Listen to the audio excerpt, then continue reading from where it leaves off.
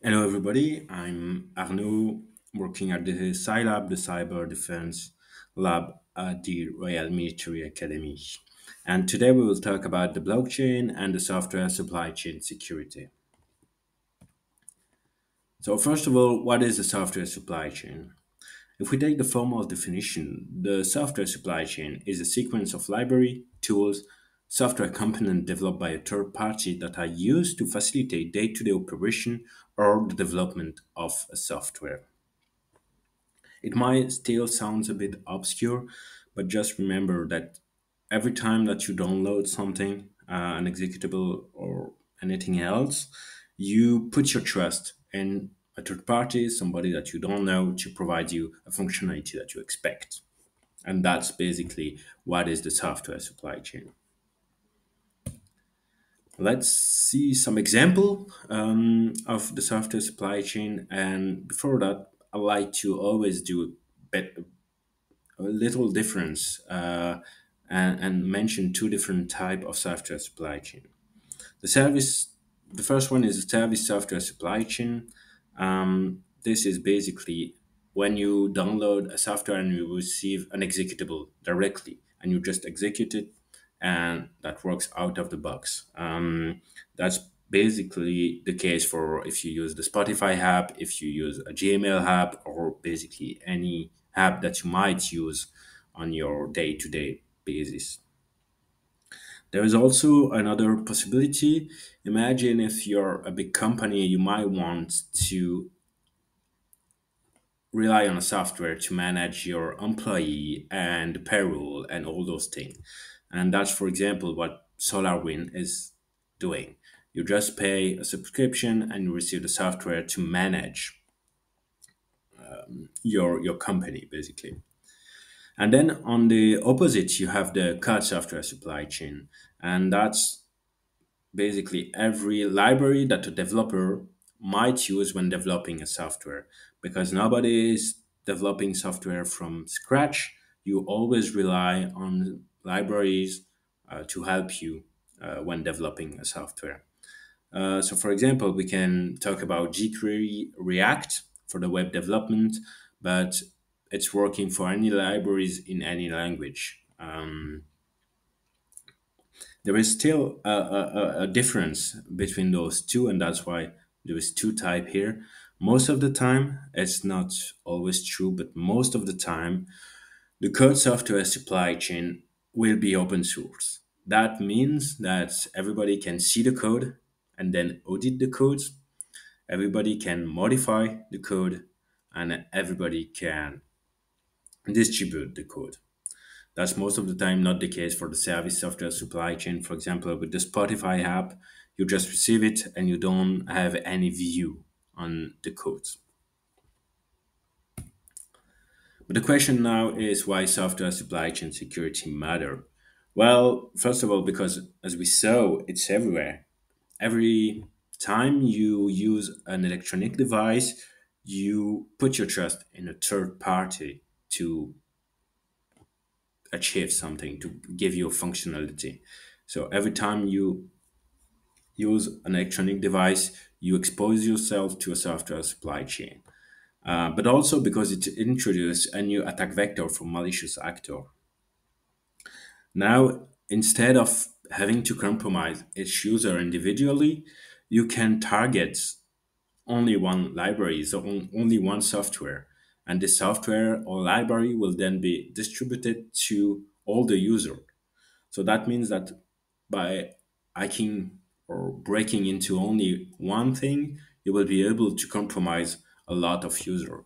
So that's really valuable um, from a, an attacker point of view. Um, that's really worth it. Also, because as you can see with those few titles, there is a lot of attack on the software supply chain. It's happened multiple times per weeks that new attack are discovered. Uh, it can also be become political. If you know that a country is using this kind of software in their institution, you might try to break into the software supply chain of this specific software And when you manage to do that, you will also be in the institution of that country. Uh, that's exa- exactly what happened with uh, the SolarWind that I mentioned previously. Uh, the SolarWind was used by the US institution. Uh, they got hacked. Um, and basically, every US institution using SolarWind was then exposed and hacked. So now let's have a look at the software development life cycle. Um, most of the time now, software are developed following what we call an agile approach. That means that you always develop and try to improve your, your software. Uh, it always start with the analysis phase. You try to understand what are the issue uh, that your program will try to solve. Then you put you go to the definition phase where you say, okay, we will focus on those issue and the design. Uh, design is how you will address those issue And then, and it's only the fourth step, you start coding your your your software, your solution. And that's where the software supply chain come in. Um, because like i said previously um, nobody is coding everything from scratch. You will always rely on, on, on a third party um, to provide you functionality that you don't want to code again from scratch. Um, and then it goes into testing deployments, and then you start again that means as you can see that the software supply chain is not really in the loop uh, but if you manage to compromise this box, this software supply chain box, you compromise the entire loop, which is really powerful. Now let's focus on the code stage and see how it works to better understand the security and how we can secure the software supply chain. Uh, for now, software development follows uh, what we call a continuous integration and a continuous deployment methodology, a CI/CD methodology. You maybe already heard about that. Uh, this methodology can be decomposed in three main stages. We have the first one, which is what we call the development. It's when the developer writes code. That's really the first step. Then you will have the building stage where all this code which is written will need to be compiled to an executable. And finally now that you have your um, your executable ready you need to make it available for the end user and that's the distribution phase. So if we look now at the attack vector on the software development uh, lifecycle uh, we can see again those three phases. On the left, you have the development phases. That's when the developers write the code. And obviously, that introduces the very first attack vector. You can compromise or impersonate the developer. And if that's the case, you will be able to push code to the source control, to the source repository, because that's how it works. When you write code, most of the time, then you will push it to a source repository and uh, probably the most known of every source repository is GitHub, and you will push that code there. If you manage to impersonate the contributor, you can push some malicious code in his name. And then we have the source repository compromission, which is also another possibility uh, for an attacker. If you manage to break into the source control server, you can change directly there the, the code. That means that you don't have to impersonate the developer, you can just change it directly on the server. Then we see the second phase, which is, you remember the building phase, which is again the same thing. You have one server which will be responsible for running the build process. Again, same issue. If someone compromise that server, if someone is capable of breaching the server, it can modify the build system. It can change the file that are compiled. It can change everything. So again, the output will not be what the developer expected. As you can see, we also have this dependency box here, uh, and that's basically uh, again the software supply chain. Um, because when you build software, like I said, you rely always on libraries, and that's where those libraries I build, I put into your software. So that also introduces a vulnerability. If you use a bad dependency, if you if your dependency is compromised, then your software will also be compromised. We have a loop here. Um, And then we have the third phase, the third stage, which is the distribution. Now that your software is built, you will push it to uh, another server, which will be the package repository to make it available for the end user. And the end user will just ask to download the package from this repository again, if someone managed to break into that server, it can give to an end user completely different software than what they expect. Again, if we take the example of Spotify, you want to develop the to download the Spotify app, and someone will give you another software instead, which is, as you can imagine, really bad. So if we try to summarize a bit, we see that we have two main attacks vector uh, on the software supply chain. We have the human one, and we have what I call the server one. Um, the human, there is not a lot of things to do. Um, use strong password, use signature when you develop code, uh, and use strong 2FA, two-factor authentication, uh, or at least use two-factor authentication. It's always a good idea. Um, but that's everything that can be done. For the server attack vector, we saw that the issue comes from the server being compromised because every time there is only one server. If this server is compromised, then the entire pipeline is compromised. So the idea would be to, instead of relying on only one server, let's try to rely on multiple server. So achieve what we call a decentralization. We go from a centralized thing with only one server to a decentralized thing with multiple server.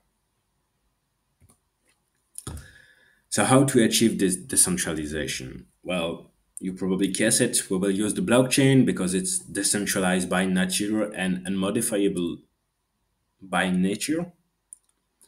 And we will also use a decentralized file system, which is content-based addressed like the interplanetary file system, uh, which I will refer to as IPFS in the following.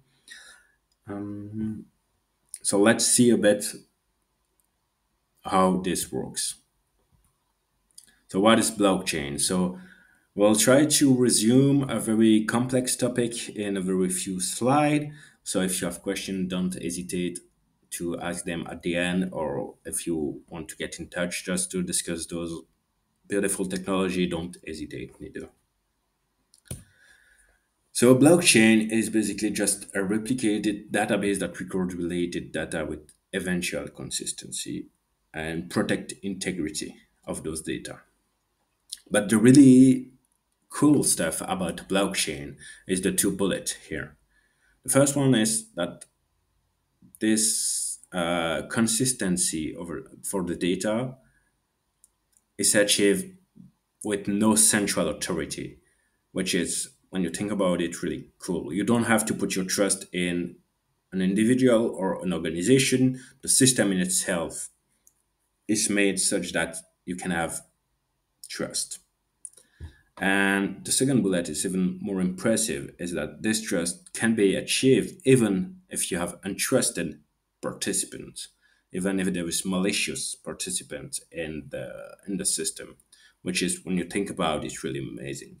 You can build something trustable from something untrustable. That's really cool.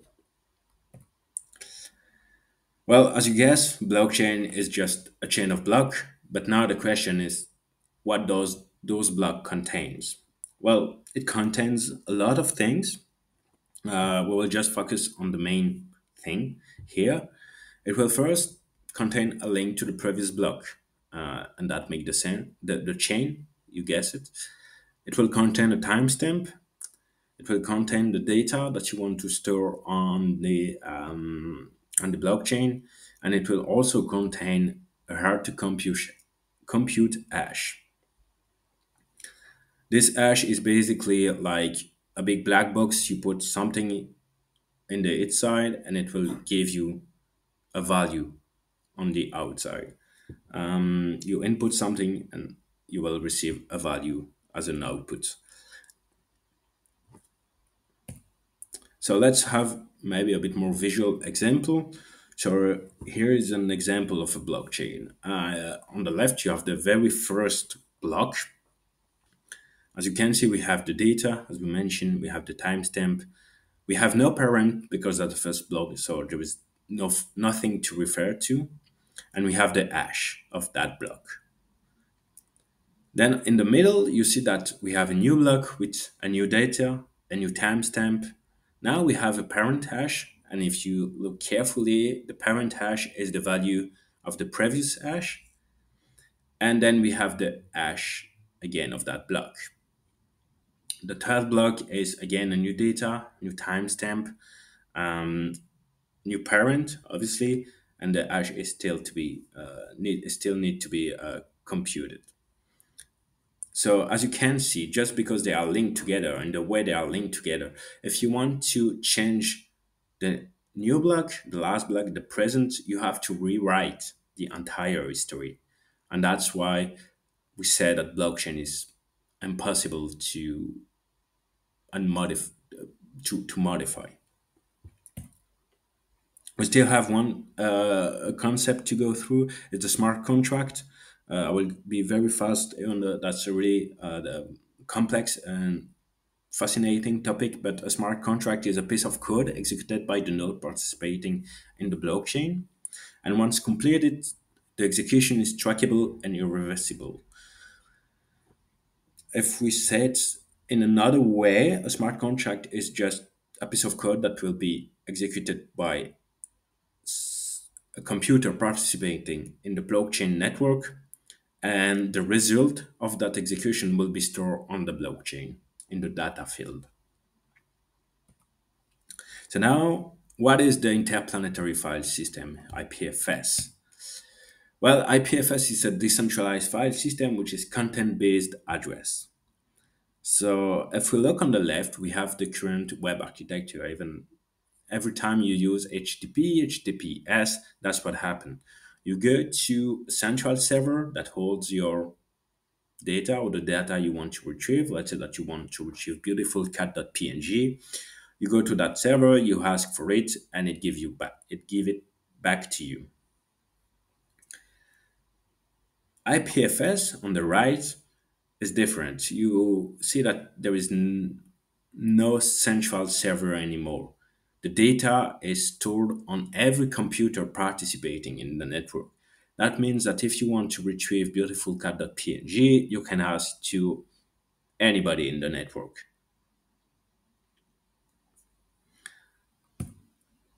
But now, what does content address means? A content address system is where an asset is retrieved based on its content rather than based on a location. Like we said previously, you go to a central server because you reach this server based on a URL, based on IP, whatever.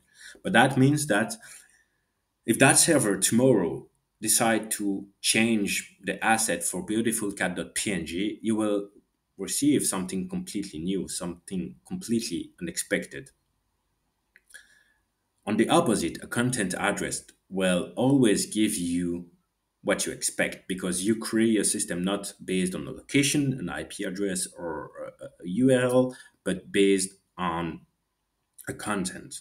You will take the file, beautifulcat.png, you will put it once again in a hash function, you will get a unique identifier, also called CID, as an output, and then you will always query for this CID. And you know that you will always get the exact same beautifulcat.png. So now let's put that everything together to try to solve the issue on the, the, the centralization of the package repository. So now that your package is built, let's bring decentralization on this distribution phase. So we can store the package on IPFS which is CID, so the hash, right? The content of that file. Then, because it's easier to remember a name, beautifulcat.png, rather than a hash, we need to store the mapping of this CID to a name, right? Beautifulcat.png. We could go to one central server once again, but then we are back to the same issue. So that's where the blockchain and the smart contract kick in. You will, we will just store this mapping on the blockchain saying beautifulcat.png equals that CID, that's hash. Now, if I want to retrieve beautifulcat.png, I will first query the blockchain saying, can you give me the CID of beautifulcat.png? And I will retrieve the, the, the, the I will receive the hash. Then with that hash, I can go to the IPFS network and ask for the file. And I know that every time I will receive the exact file I'm expecting to. So how exactly does it solve? I, we, we already give some hint about it, but the data is stored on the blockchain and I mean the data. The mapping is stored on the blockchain, which means that it's kind of secure and at least cannot be changeable because like we see, if we need to change a mapping now, we need to rewrite the entire blockchain, which is, if not impossible, really unlikely. And also, what happened if a node tried to be malicious and gave you another file on beautifulcat.png? Well, you will easily notice it because the hash will not be the same. So you will be able to detect that the, the file is not the one you expect. And in that case, you can simply put this node as malicious, never go back and ask anything to him again, and just pick any other nodes and hash for your beautiful cat.png. So that's how we can solve the package repository compromission attack vector by decentralization.